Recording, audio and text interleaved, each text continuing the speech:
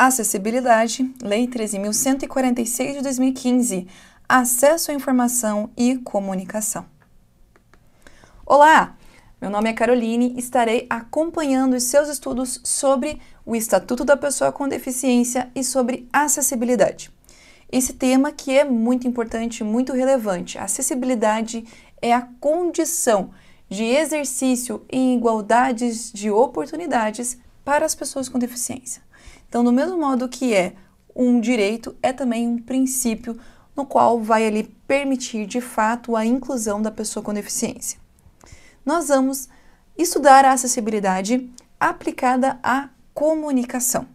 Então é muito importante esse tema, ele é muito relevante e desse modo nós vamos aí ter até umas atividades práticas depois da nossa aula para você testar em casa e compreender um pouquinho mais sobre a acessibilidade voltada à comunicação, ok? Vamos então aqui para o nosso slide. Veja só, o que é acessibilidade para a comunicação? Então, nós precisamos pensar aqui que os sistemas de tecnologia, de acesso à informação, eles precisam ser pensados para que todas as pessoas tenham acesso e também as pessoas com deficiência. Porque se nós temos uma pessoa com deficiência, ela tem uma deficiência auditiva. Então, se ela tem uma deficiência auditiva, é, ela não vai conseguir se comunicar com as pessoas por meio da fala. Ela vai precisar utilizar outros mecanismos de linguagem, por exemplo, Libras. Agora vamos imaginar uma pessoa que não enxergue, não tenha, né, tem uma barreira que é a dificuldade de enxergar. Se essa pessoa vai caminhar na rua, é, as placas indicadoras não vão ajudar. E muitas vezes, quando a gente pensa então nessa pessoa, na vida dela, ela vai ter que ter é, contratos, ela vai precisar pagar contas. Imagina se você não conseguisse né, ter acesso, ler os termos dos contratos, porque tem uma dificuldade de enxergar. Então vejam, é necessário mudar a linguagem para que essas pessoas tenham acesso aos direitos. Vejam só, a acessibilidade voltada para a comunicação, ela vai colaborar, ela vai permitir a liberdade de opinião da pessoa com deficiência, a busca por informações, né, e também a sua manifestação, né, por meio do compartilhamento de ideias, tudo isso que é muito importante para a formação, para a educação, para a vida cidadã. Então vejam só, a ideia aqui é permitir igualdades de oportunidade. E não tem como haver igualdades de oportunidade se a pessoa tem uma dificuldade é, para receber a informação, para se para falar, para se manifestar, para ser ouvida. Então, desse modo, nós precisamos é, rever o nosso conceito de linguagem como nós conhecemos. Nós precisamos compreender que existem outras linguagens que são importantes. Ok? Vamos lá. Vejam só, é necessário compreender que existem diferentes modos de comunicação. Então, vamos a alguns deles. Esses aqui estão previstos no artigo 3, inciso 5 do nosso estatuto. Então, vejam só, quando nós falamos de visualização de textos, linguagem brasileira de sinais, o próprio braille, sistema de sinalização ou de comunicação tátil, caracteres ampliados, caso a pessoa enxergue, mas ela enxergue muito pouco, né? Dispositivos multimídia, linguagem simples, escrita e oral, sistemas auditivos ou os meios de voz eh, digitalizados, meios e formatos aumentativos ou alternativos de comunicação. Então, essa pessoa ela precisa receber informação, ela precisa né, se comunicar e desse modo vai ser necessário adaptar a linguagem àquela necessidade, a barreira que, ela, que existe. Então vejam, se uma pessoa que tem é, a dificuldade, ela não consegue falar, ela não consegue ouvir, nós vamos precisar então do braille. Se uma pessoa que tem uma dificuldade de enxergar, nós vamos então é, podemos utilizar meios aumentativos. Se ela enxerga pouco, né, tem uma dificuldade de enxergar, mas ainda consegue enxergar, ou ainda é, nós temos ali a possibilidade de utilizar outros mecanismos. Ah, ela tem a dificuldade de enxergar, mas não vai ter dificuldade, por exemplo, de se comunicar pela via oral. Então, falar. Então, nós temos aí uma série de mecanismos que favorecem a comunicação, a linguagem. É necessário que a gente tenha, então, uma compreensão sobre esses mecanismos. Bom, quem vai ser, então, obrigado né, a cumprir a acessibilidade na comunicação? E aqui nós vamos ver uma série de é, entes que vão se, se responsabilizar por garantir a acessibilidade na comunicação. Então, lá no nosso estatuto é o artigo 63. Então, vejam vocês: empresas com sede no Brasil e órgãos públicos. Essas empresas, elas vão ter obrigatoriamente e os órgãos públicos também a pensar os seus sites, né, os sítios também utilizado essa palavra sítios, vai ter que pensar, vai ter que tornar os seus sites acessíveis segundo a diretriz internacional de acessibilidade. Então, pensar em sites que permitam que pessoas que tenham é, deficiência, sejam elas visuais ou outra espécie de deficiência, a ter ali uma boa utilização do site ok? Então, tanto as empresas que tenham sede no Brasil quanto os órgãos públicos. Olha lá, empresas com sede ou representação comercial no Brasil e órgãos públicos. O que, que vai ser exigido deles? Vai ser obrigatório. Já vi questão colocando assim. Tem questão que adora pegar o texto da lei. Pega o texto da lei, mas muda uma palavra. Qual foi a palavra que foi mudada? em vez de constar obrigatório, constou facultativo. Então aí nós podemos ver o erro. Então é obrigatório que essas empresas de fato tenham seus sites acessíveis. Olha lá, telecentros e lan houses. Os telecentros, eles vão então receber recursos para o seu custeio. E as lan houses, imagino que você já tenha conhecido uma lan house, eu vi um momento aí que haviam muitas lan houses. Hoje em dia existe uma quantidade menor, pelo menos é o que eu percebo. Vejam só, as lan houses também vão ter que ter computadores destinados para as pessoas com deficiência, aí pensando na deficiência visual. Vejam, pessoal, tem questãozinha sobre esse tema que é, ó, matemática aplicada à lei das pessoas com deficiência. Então, preste atenção, toda vez que aparece uma porcentagem, tenta gravar tenta gravar. Você precisa anotar, faz um esqueminha, faz um mnemônico, dê os seus pulos.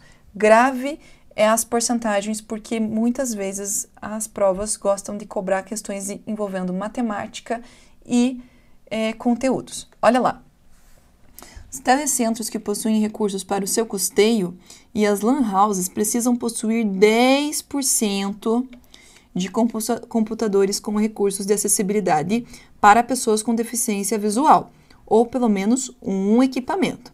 Sites que recebem incentivos fiscais também deverão ser acessíveis. Vejam só, 10%.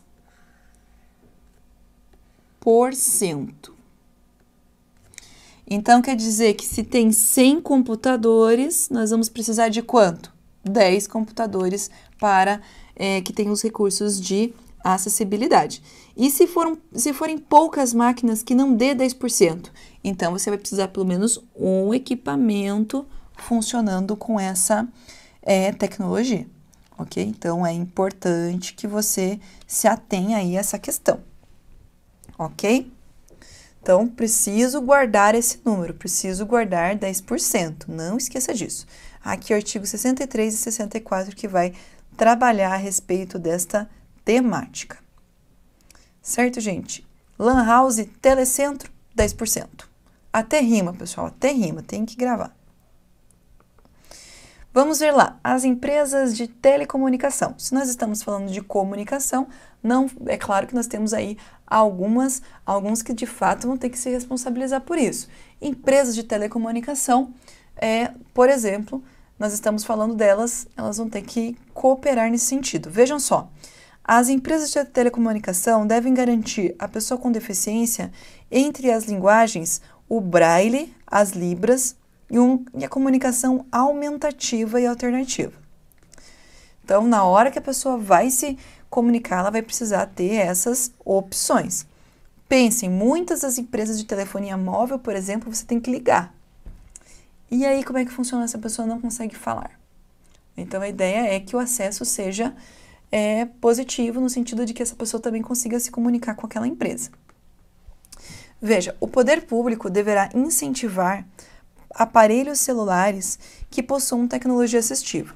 Isso quer, dizer, isso quer dizer o seguinte: ampliação sonora das operações e funções disponíveis. Então, por exemplo, celulares que vão ter ali uma série de recursos para aumentar as letras, tornar aquilo mais palpável para uma pessoa, por exemplo, que não enxergue tão bem. Isso é uma tecnologia assistiva. Aqui nós estamos falando que o poder público deve incentivar né, as empresas a fazerem celulares desse sentido, ok?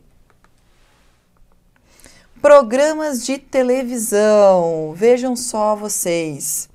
Nós temos aqui, é, bem bacana essa, essa imagem. Veja só que interessante. O estatuto vai exigir que os programas de televisão eles possuam a legenda oculta.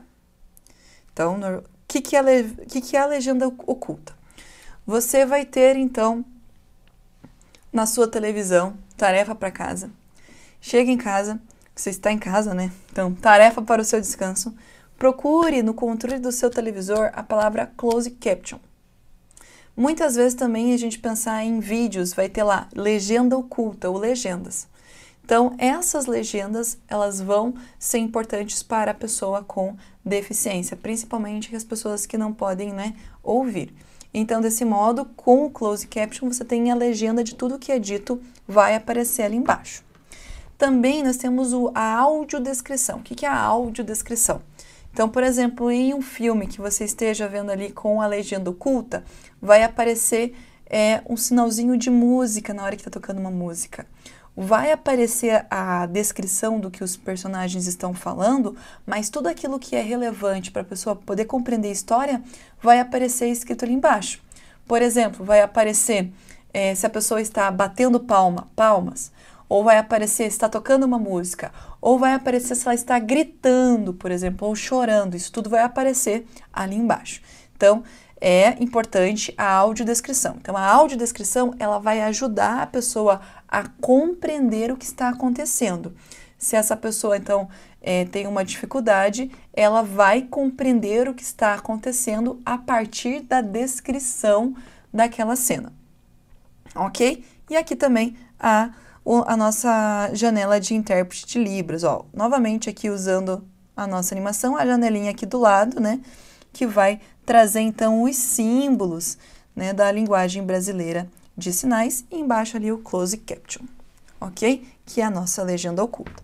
Os programas de televisão então deverão se adaptar a essa necessidade. Veja que é, se você clicar no botãozinho, você vai ver que jornal, principais programas vão ter sim é o close caption funcionando ali, a legenda oculta. Livros, olha lá, quem é obrigado a cumprir a acessibilidade? Os livros. Então, a ideia do estatuto é incentivar a produção, edição, difusão, distribuição e comercialização de livros que sejam acessíveis. E, inclusive, olha só que coisa, é, o estatuto ele quer restringir a participação de editoras em editais para compra de livros em bibliotecas, por exemplo, se elas não ofertarem livros em formatos acessíveis. Vejam só vocês. A ideia, de fato, é que o, poder público incentive a produção e, de certo modo, ele está desincentivando empresas a só ofertarem ah, de modo escrito. Tem também que é, formatar, perdão, entregar de, em formatos acessíveis. Quais são esses formatos? Softwares leitores, softwares leitores com voz sintetizada, ampliação de caracteres, diferentes contrastes e o braille. Então, esses recursos eles vão ajudar ali a pessoa com deficiência, né? digamos que seja uma pessoa que não enxergue bem. Então, o contraste às vezes vai ajudar ela a enxergar melhor. O aumento do caractere vai ajudar ela a enxergar melhor. Então, isso é muito interessante, principalmente quando a gente pensa em computadores, que podem ajudar muito as pessoas com deficiência. Quando nós pensamos nos, nos caracteres aumentados. Então, livros digitais, eles têm uma facilidade para você conseguir fazer essa adaptação. Temos também as vozes sintetizadas. Então, tem alguns leitores de PDF, e aí não é apenas para pessoa com deficiência, mas digamos que você que é estudante, está é, tá lavando louça. O que, que você vai fazer? Você pega um software de é, leitura, vários softwares, arquivos aí que leem PDF, inclusive arquivos que fazem é, redação de texto, editores de texto, permitem a leitura daquele texto. Então, você vai lavando sua louça e você vai ouvindo, digamos, o estatuto da pessoa com deficiência, deficiência enquanto lava a louça. É possível. É claro que para a pessoa com deficiência, isso é extremamente importante, né? A pessoa ouvir aquele livro, né, ao invés já que não pode ler esse livro. Mas nós também podemos, né, utilizar essa tecnologia para nos ajudar. E olha só que interessante. O estatuto vai dizer que os artigos científicos deverão ter formatos acessíveis, inclusive libras. Então tem é, um livro que é um comentário que consta na nossa é, bibliografia, se você for olhar ali o guia do aluno, é, consta sim uma crítica de um autor a respeito disso. Então imagine um artigo científico, você fazer libras do artigo científico parece uma coisa meio estranha, mas hoje nós temos softwares que fazem, né, que leem libras sites, por exemplo. Então vai ler em libra aquele artigo, então vai ser um bonequinho mecanizado que vai fazer isso, mas já é possível. Veja, qual que é a ideia do estatuto? Demonstrar que a pessoa com deficiência tem que ter acesso à literatura de modo acessível, inclusive artigos científicos. Ok? Olha lá, gente, quem mais que vai ter que atender acessibilidade? Embalagens, anúncios e bulas. Então vejam só, informações no ambiente virtual eh, deverão então e serem possíveis para que a pessoa com deficiência saiba o que, que ela está ali, né, comprando, tem que especificar quantidade, qualidade, característica, composição, preço e eventuais riscos à saúde. Então a ideia é que os anúncios, sejam no rádio, sejam na TV, né? A, claro que, tem que você tem que ter é, uma proporcionalidade em relação ao, ao veículo, né? Você vai exigir do rádio legenda oculta, não dá, não tem como, né? Mas veja, a ideia é que os anúncios publicitários eles estejam preocupados com a acessibilidade, seja é, na internet, no rádio, ou escrito, ou TV. Mediante, então, solicitação, a pessoa com deficiência vai ter direito ali a acessar bulas de remédio, prospectos de modo acessível. Então, o importante é considerar, a pessoa com deficiência pode pedir é, a bula, por exemplo, num formato acessível, ok? Esse é o nosso artigo 69. Vamos, então, aqui para mais um ponto em que é exigida acessibilidade. Eventos científicos e culturais.